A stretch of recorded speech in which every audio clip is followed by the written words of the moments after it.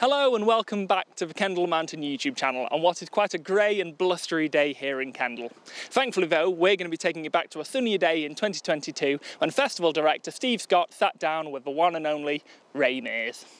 Um, so let's start with a, a, sort of younger Ray. Where, where, where was that spark uh, lit, if you like? Where did, where did the passion for, for the outdoors start?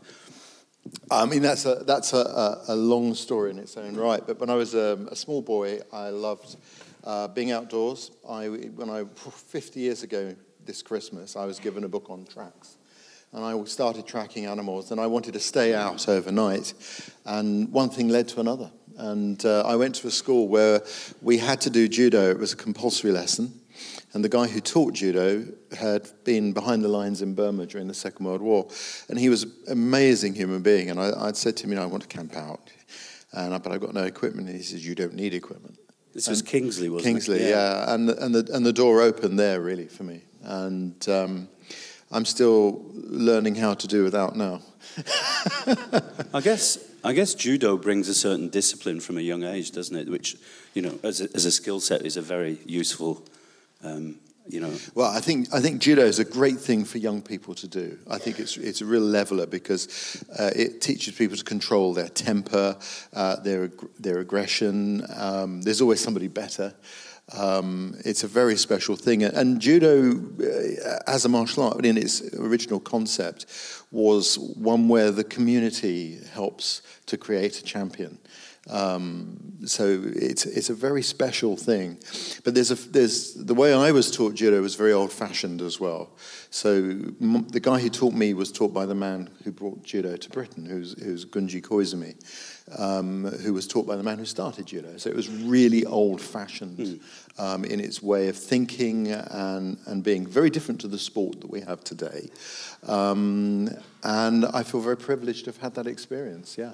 So, so did that did that progress to the scouting movement as a, as a young boy? Were you were you connected through through different organisations like that, or was it self exploratory? If you like, I, I, joined the Scouts, but they didn't do enough of what I wanted to do, and so I just went off to do my own thing instead. Right.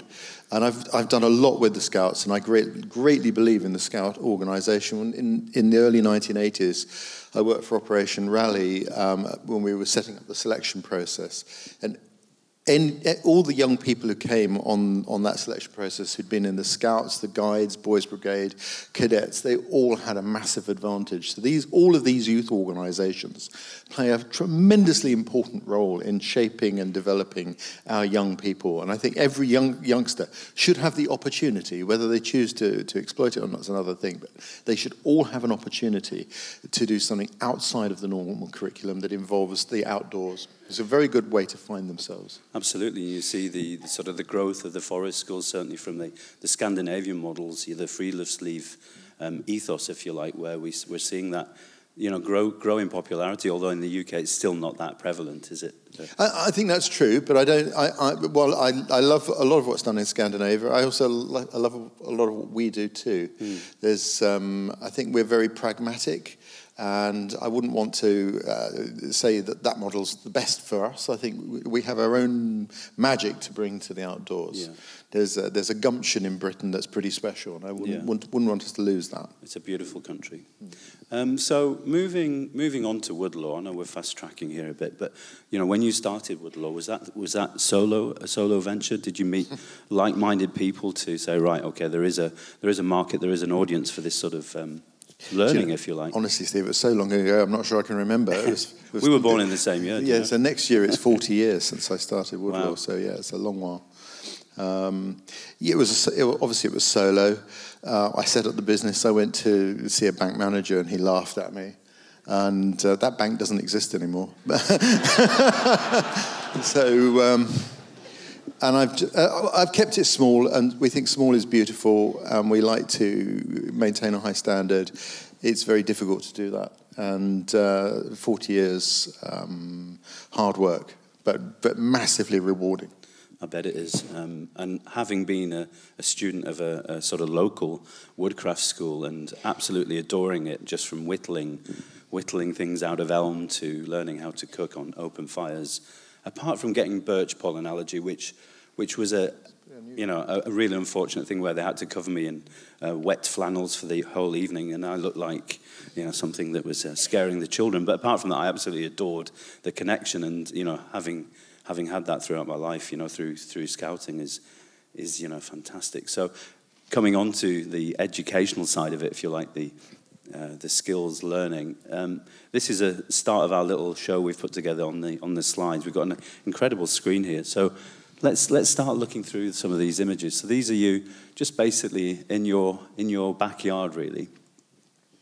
Yeah, I mean, I think uh, for me the wilderness is is what it's all about, and. Um, in wild places, you, you test your knowledge. You know, you can, you can sit in a, a, woodcraft camp and you can do whatever you like. You can have 13 different axes, axes with you. You can have specialist tools. But when you make a real wilderness journey, you can't. You have to take one thing because there's not the room, space, or weight uh, allowance for that. So it's, it's really testing. It teaches you an awful lot.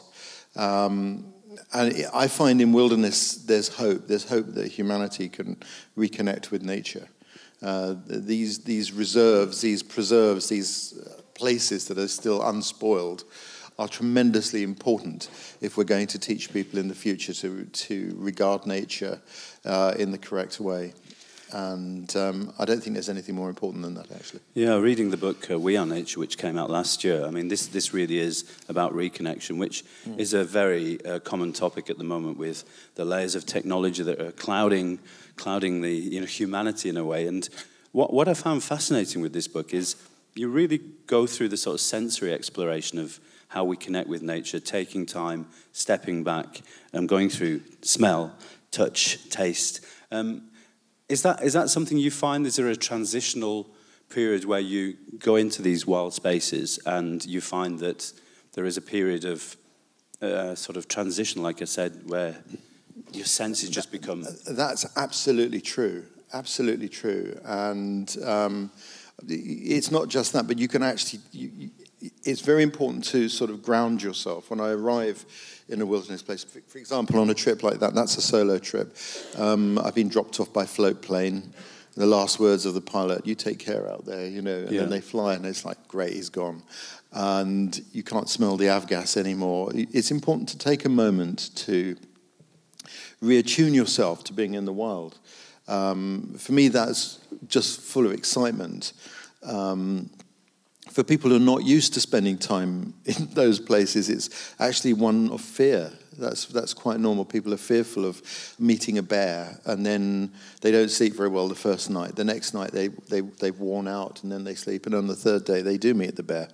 Um, and you're least expecting it, yeah. it's kind of normal. But um, yeah, no, you have to take a moment to ground yourself, to, to reach out and touch the soil and uh, to touch the water, to, to enjoy the fragrance of the trees. Mm. Um, I remember uh, on that journey there, I, I, I, my plane was diverted when I arrived at Toronto because there were lightning storms. We had to circle for hours. Um, and eventually we were diverted to North Bay. And uh, they opened the doors. Um, there was no food or water left on the plane. And all I could smell were the, were, were the, the spruce trees. And I just wanted to get off, but Amazing. I couldn't. You know, Amazing. Was, yeah. Okay, so this is you in the middle of uh, some instruction. What's happening here? I'm teaching people. I can't remember how to suspend things in the in the forest. Oh, yeah. But te- teaching in wilderness is the best teaching of all because I'm I'm actually uh, just in, I'm, I'm just an intermediary between myself and, and nature, uh, between the students and nature. The the wild the wilderness itself is the great teacher, and you can't ask for a better better classroom than that. Um, I don't think these skills should be taught in a classroom. They should be taught outdoors, and that's really important. You love being on the water as well as on land, um, mm. and I've loved the programs where you're crafting your canoes and, and yeah. the paddles. And I guess, I guess again, that's that slow pace that that is important to to absorb the environment, to observe. And, yeah, and slow learn. pace, but you know sometimes I like to paddle fast too. You I might bet. be surprised. um, I, I love being, uh, for me, the canoe is really special because um, I like being on my own. I like to do solo trips. everyone tells you you shouldn't go outdoors on your own. I don't agree with that. Um, if you've got the ability and the knowledge of how to do do that, you should go on your own and enjoy the magic that comes from from that personal connection with nature. There's nothing more uplifting than being, you know, 100 miles from anywhere with just yourself and your knowledge. And uh, in a canoe, I'm floating on the thing I love most, bushcraft. The canoe is a gift mm. of, of our ancestors. And you float there between the water and the wind. And you have to, you have to, to um, you have to moderate the influence of the water and the wind to, to make progress. I love that. I love that experience. Um, I meet sometimes, I meet other solo travelers and um, I never look for other solo travelers. In fact, I don't want to meet other solo travelers. But they sometimes search you out because they get to hear that you're there. right. And then you realize that not all of the people who go out on their own are suited to it because they arrive and they, they pull up alongside you and it's like meeting Ben Gunn. You know, they just won't stop talking and you realize that they're, they're missing human company. But I never feel that. Right. To me, I'm surrounded by eagles and by loons, and I have a much closer relationship uh, to nature when I'm on my own. I, I love it. I mean, don't get me wrong, I love also traveling with with my wife and with friends yeah. and sharing those experiences. But I find that quite... Well, I hope you enjoyed that snippet of conversation with Ray Mears. If you want to see more content like it, then make sure to like and subscribe to the channel, as well as also checking out the Kendal Mountain Player, where we have the full hour-long length interview with Ray Mears, as well as 400 different films and collections to choose from. Make sure to check it out in the link in the description below.